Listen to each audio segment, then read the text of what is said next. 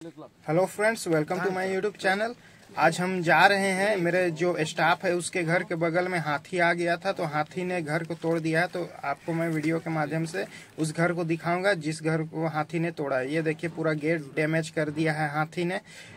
इस गाँव में हाथी आया हुआ था, ये तुड़ीगाड़ा गाँव है।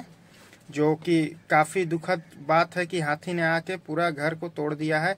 ऊपर अल्बेस्टर भी तो, तोड़ दिया है और इधर मैं बारी दिखाता हूँ इसको भी तहस नहस कर दिया है। और देखिए आप ऊपर अल्बेस्टर को भी आप देख सकते हैं पूरा तोड़ दिया है।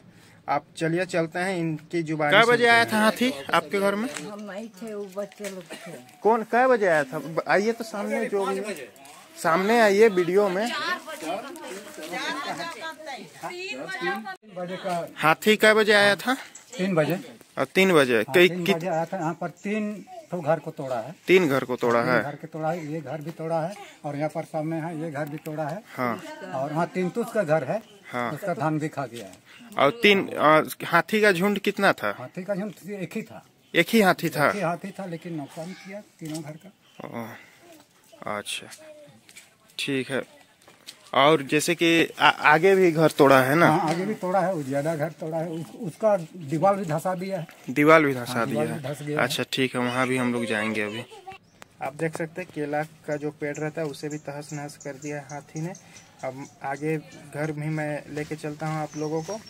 यहाँ भी आप लोगों को दिखाऊँगा कि कैसे हाथी ने पूरा अल्वेस्टर तोड़ दिया है।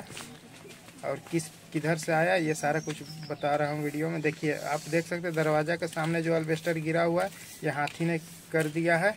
और हाथी का जो आने का रास्ता है, ये इधर से है।